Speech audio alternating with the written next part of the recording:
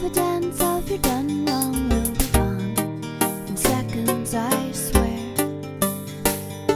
But if you got time anyway, why not watch me hurt?